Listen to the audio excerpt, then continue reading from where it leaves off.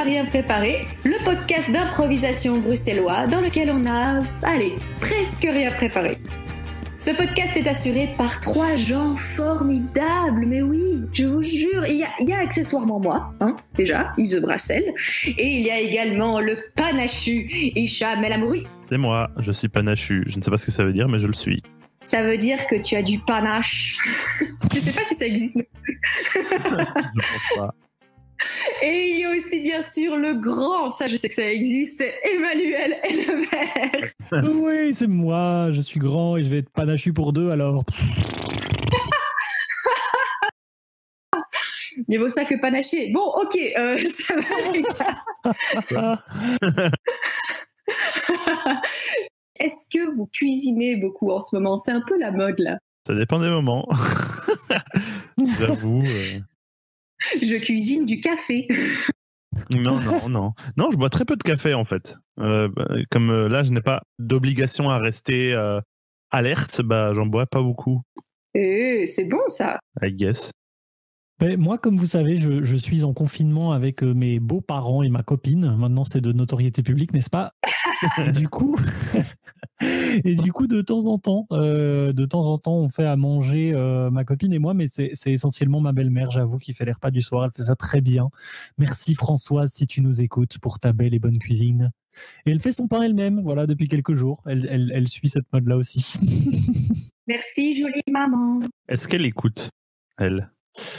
Écoute, je pense qu'au moment où on enregistre, elle n'a pas encore écouté, mais peut-être qu'au moment où ce sera diffusé, c'est-à-dire d'ici trois semaines, si je compte bien, euh, peut-être qu'elle aura écouté, et donc peut-être qu'elle écoutera celui-là. Si ça se trouve, ouais. on ne sait jamais. C'est, on ne sait pas. Et eh oui, parce que voilà, premier secret de fabrication, en fait, on enregistre à peu près trois semaines avant la diffusion. Salaud Menteur Fallait pas le dire D'ailleurs, euh, messieurs, dames, euh, gens qui nous écoutent, euh, et apparemment bientôt la belle-mère de Emmanuel qui sommes-nous? Vous nous demandez peut-être, mais c'est qui ces Paye et ces May Eh bien, c'est trois improvisateurs qui vous proposent de l'improvisation théâtrale via ce merveilleux podcast. Wow. Merci Manu. Et ce podcast sera composé de trois improvisations, donc trois jeux proposés euh, chacun par Hicham, Manu et moi-même. Et à chaque fois que l'un de nous proposera une impro, il ou elle proposera également une contrainte pour avoir plus de, difficultés, certes, mais plus de fun. Et la première scène d'aujourd'hui est proposée par ah bah, par moi-même.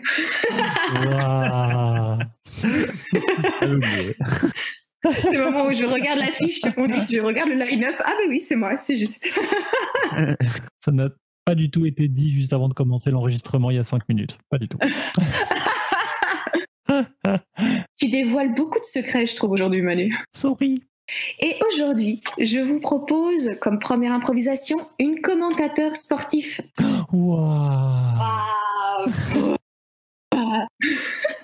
La commentateur sportif. J'étais au courant. Oui, d'accord, tu es le réalisme, on a compris. Euh, la commentateur sportif, c'est Hicham et Manu. Vous allez jouer des commentateurs sportifs. Imaginez un mondial de foot. Il y a une ambiance de délire, des, des analyses très, très précises, etc. du jeu. Sauf que non, vous ne commenterez pas la Coupe du Monde de foot. Vous commenterez une, euh, une scène de la vie quotidienne que je vais vous proposer. Ok. Ok, let's do this. Vous allez faire aujourd'hui un commentaire sportif sur Églantine, qui fait un puzzle 1000 pièces. Oh mon Dieu. Oh là là là là. La barbe. Oh, Putain, mais le pire, quoi. C'est parti.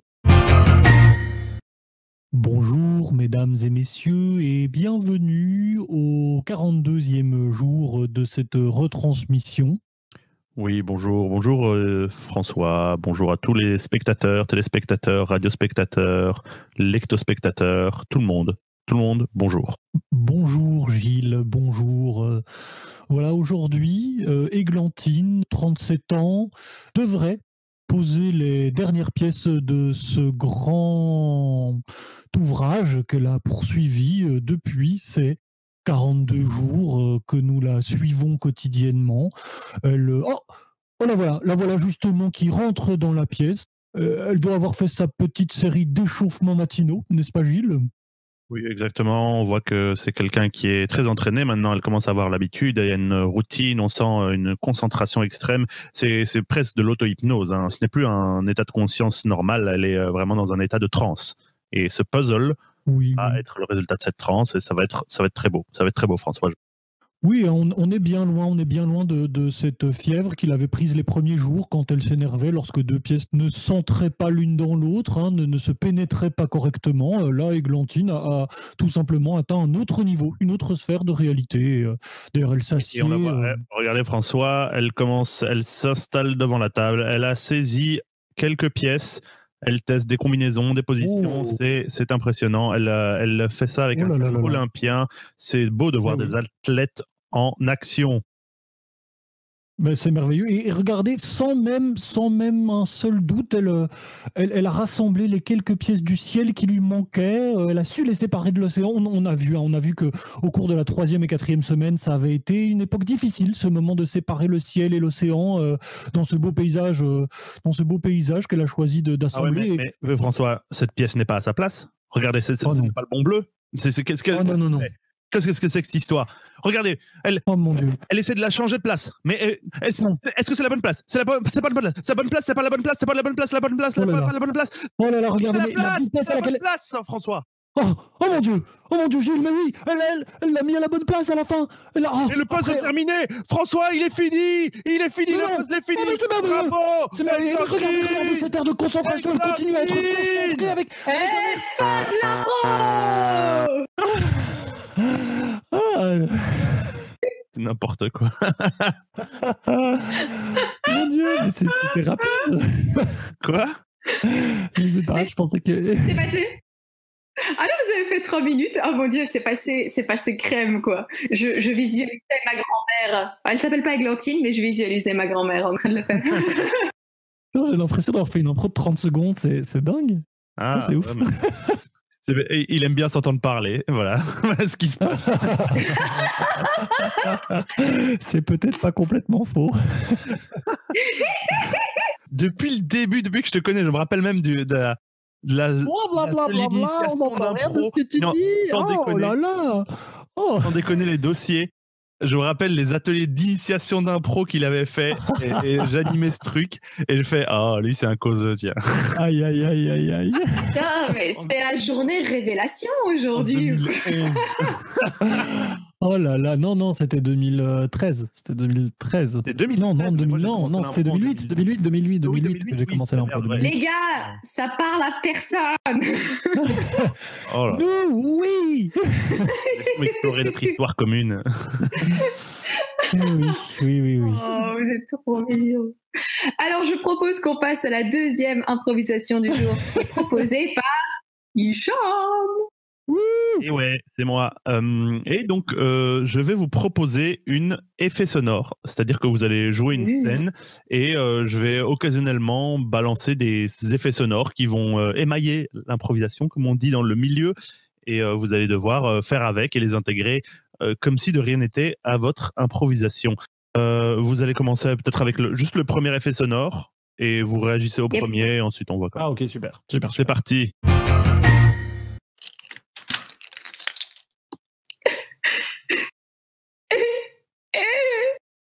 Ça va, ça va aller, Martine. euh, Redonne-moi un pot au chocolat.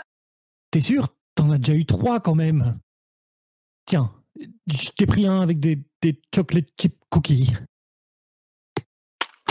Vas-y. Oh non, non, non, non, non, non Oh non Ah. J'ai dit que le mettre au micro-ondes, c'était pas une bonne idée Mais oui, mais sinon c'est pas assez fondant. Comment tu veux que je me remette d'une rupture si je mange une glace qui est pas fondante? Mais oui, mais... Mais enfin, mais là, c'est tout mon micro-ondes qui a fondu, enfin Ça peut pas continuer comme ça, hein, Martine, franchement. Quoi, tu as... Alors maintenant, tu vas te reprendre. T'es malade? Non, Martine, j'en ai marre. T'as mangé la moitié des réserves de mon frigo, t'as dévalisé toutes mes glaces, tous mes cookies, tous mes mellow cakes. Alors maintenant, Ça va, ça suffit, hein Ok, là, tu m'as vraiment mise en colère. Me priver d'amour, c'est une chose. Mais me priver de glace, prends ça dans ta face Tout tu sors de... Ah, pouf, ah, euh, ah, T'es complètement folle Sortir ton exo-armure comme ça Mais ouais, avec le célibat, j'ai bien eu le temps à performer mon exo-armure, tu vois.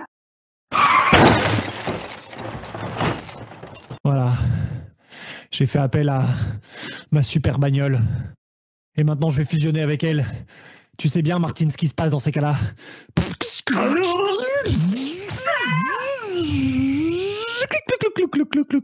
Target locked.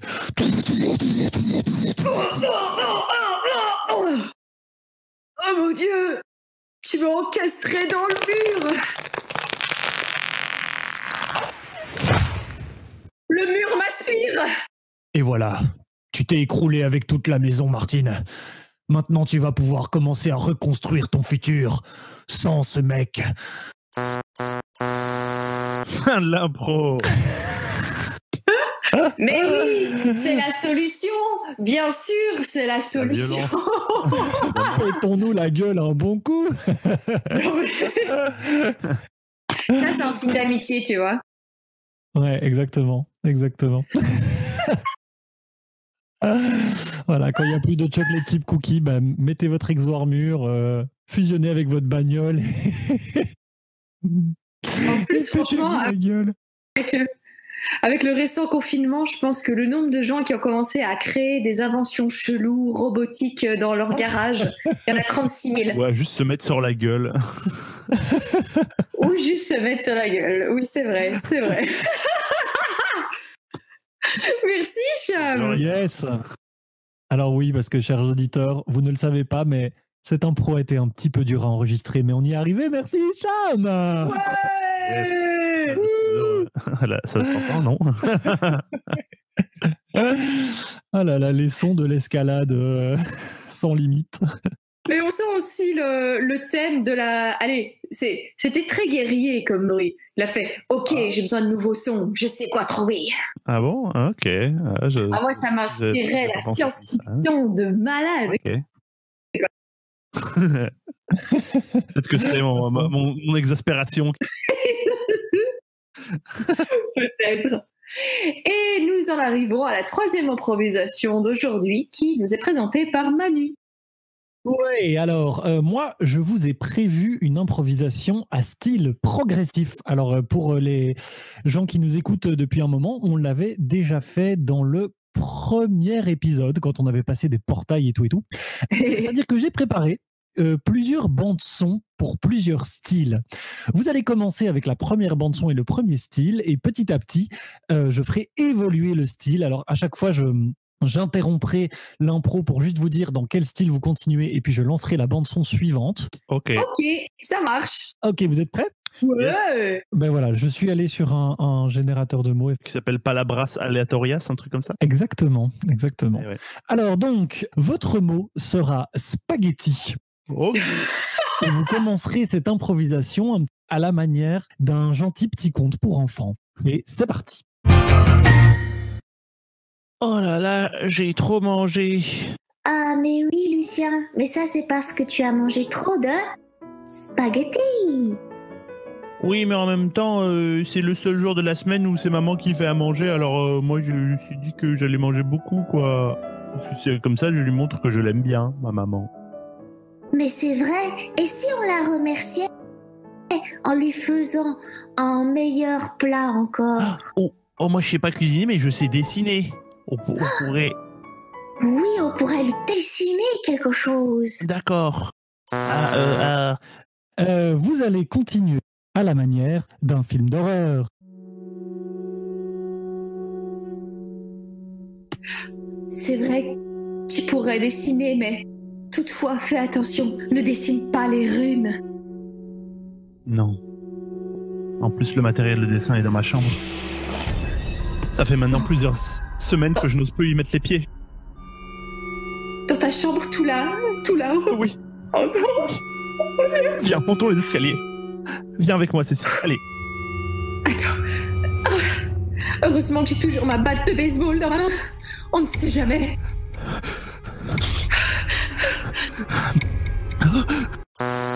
Pause. Oh, merveilleux. Vous allez continuer à la manière d'un film d'heroic fantasy. La porte s'ouvre. Oui. Bienvenue dans mon atelier. Le soleil perce. C'est bien que vous soyez venu.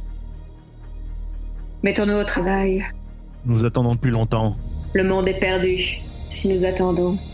Saisissez ce parchemin. Oui, Saisissez cette plume. oui. Et sortiront de votre main les mots de la prophétie. Les mots de pouvoir. Qui vont faire rendre à ce royaume sa gloire d'antan. Qui nous permettra de rendre honneur à la reine des elfes.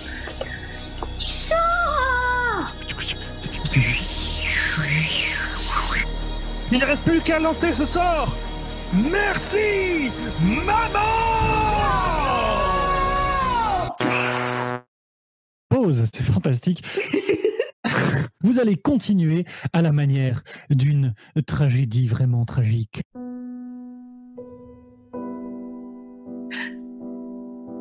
Oh mon Dieu. Ça n'a pas suffi, Tessie.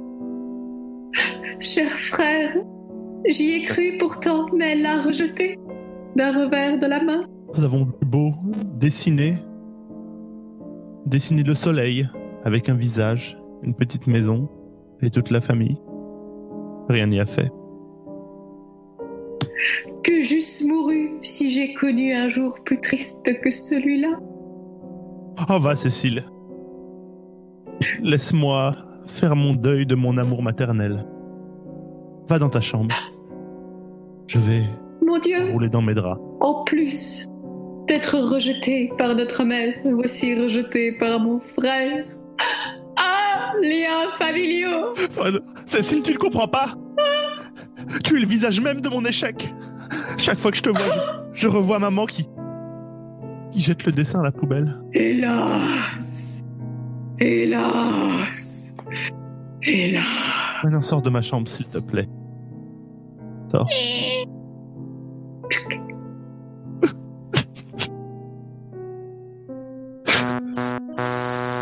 Fin de l'impro C'était trop bien Alors, j'ai authentiquement une larme qui me coulait le long de la joue. Quoi. Oh. Ah. Acting, acting. Acting, motherfucker Acta Studio Ah, on s'y sentait vraiment avec la musique. Honnêtement, vraiment, genre, ça a vraiment marché. Euh, ouais, C'était cool, c'était cool, vous avez fait honneur. Pour la fantasy aussi, c'était pas mal. hein. La reine des selfs C'était génial. Et puis c'était trop bien parce que vous gardiez ce truc de. Il reste ce sort à lancer. Merci, maman C'était trop bien. Ah, mais ça a un pouvoir qu'on ne soupçonne pas, hein, les merci. Ouais. Le pouvoir de la gratitude. Ou justement le pouvoir de l'ingratitude. On ne peut pas ressentir de la jalousie et de la gratitude en même temps, euh, neurologiquement. Genre qu'il y a des études scientifiques qui montreraient. J'ai pas eu accès à ces études pour le savoir, mais il paraît. Il paraît. Attends, la jalousie. On peut pas ressentir de la jalousie De la et de la gratitude. gratitude en même temps. Euh, neurologiquement, hein, pas, c'est pas genre euh, on, euh, les psychologues disent, c'est genre des neurologues. Et si jamais t'as genre une méga bonasse qui t'offre un gâteau What? Qu'est-ce qui. Mais du coup, t'es- tu dis merci pour le gâteau. Alors je- j'essaye de comprendre les tenants et aboutissants de euh, et je me fais du souci. Et je suis on content parce que j'ai un gâteau. cœur, Moi, hein, personnellement, je suis très content parce que j'ai un gâteau. Mais je me pose des-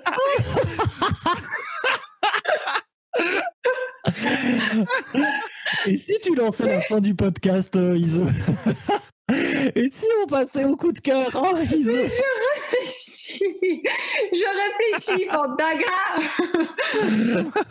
Non, je ressens beaucoup de gratitude pour cette blague. Et si une loutre te propose un tour en manège Avec une bonasse et du gâteau. Et si l'outre est bonasse, est-ce que.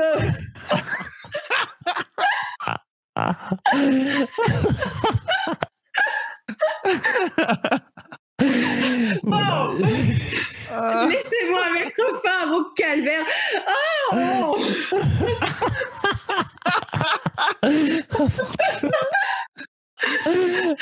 Bon, c'est l'heure des coups de cœur.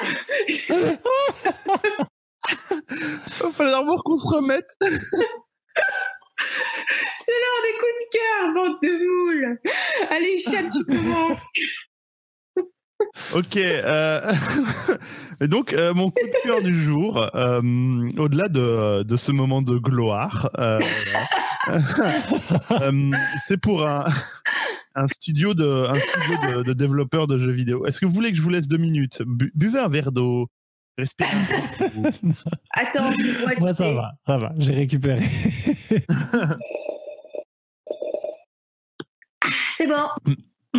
Mais donc, euh, je voulais faire comme coup de cœur euh, un coup de cœur pour un studio de, de développeurs de jeux vidéo euh, qui s'appelle euh, Super Giant Games. C'est un, un studio indépendant mm, qui a fait, euh, là, je crois qu'ils sont sur leur quatrième jeu actuellement, et euh, leurs jeux sont très chouettes. Euh, notamment, ils ont un musicien qui fait partie de la de l'équipe de développement et du coup il y a beaucoup de musique. La musique est vraiment incroyable.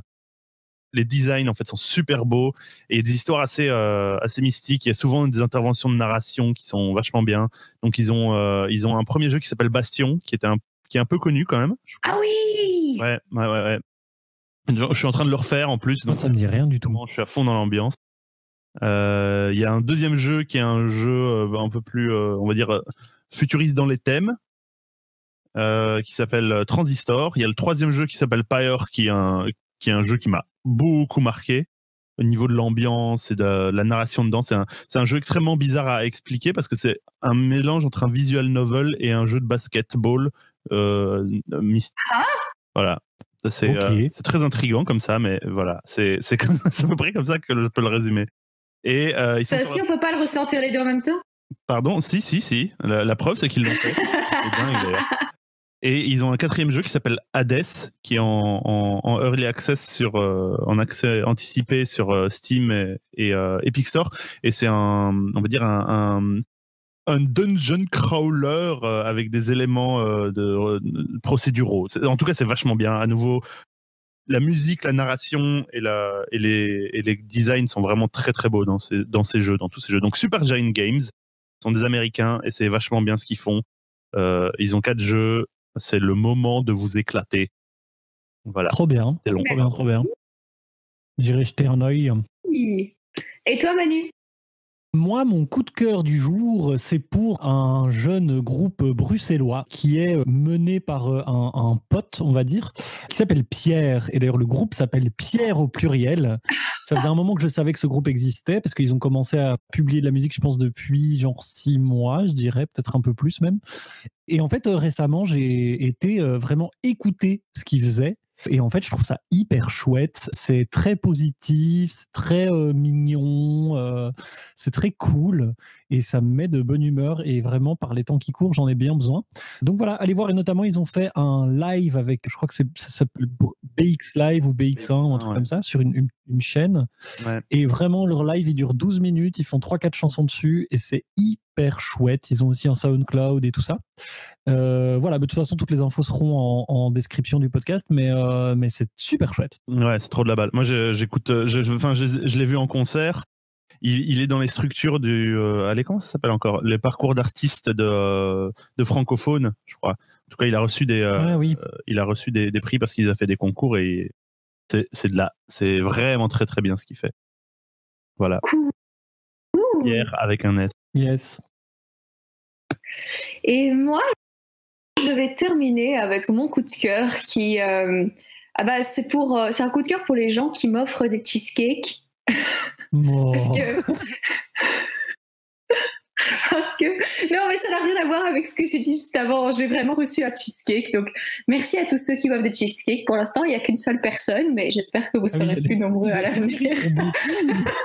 Tous non, il n'y a qu'une seule. les matins, Iso trouve un cheesecake devant chez elle. C'est la souris, là. Comment elle s'appelle encore? Murphy, non, c'est pas Murphy. Non, non, c'est ma petite sœur, c'est ma petite sœur Léa qui m'a offert un Oh. cheesecake euh, en mode surprise. Donc euh, voilà, Oh. si vous voulez gagner mon cœur, offrez-moi des cheesecakes. Ça marche très bien. T'es plutôt euh, cheesecake cuit ou cheesecake, euh, tu vois, genre à, à la new-yorkaise ou plutôt à la londonienne?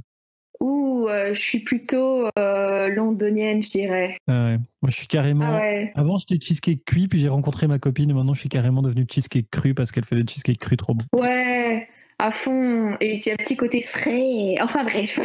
Est-ce que c'est comme la politique? Est-ce que les, est-ce que les, les cheesecakes, enfin, tu vois, on peut pas être les deux en même temps. Genre, par exemple, si j'aime les cheesecakes, quels qu'ils soient. Est-ce que c'est ok? Est-ce Genre, que c'est envisageable? Donald Trump plutôt cheesecake cuit ou cheesecake cru, quoi? Ah non, mais si c'est cheesecakes comme- crus, j'arrête. C'est comme quand tu poses la question avec tes votes, il fait Et ça, c'est de droite et- ou de gauche Là, c'est est-ce que c'est cheesecake cuit ou cheesecake cru Genre? Est-ce que la, les peintures crépies sur les façades, c'est plutôt de, de cheesecake cru ou Moi, cheesecake je trouve que c'est plutôt cuit, quoi, la peinture crépie. plutôt cheesecake cuit.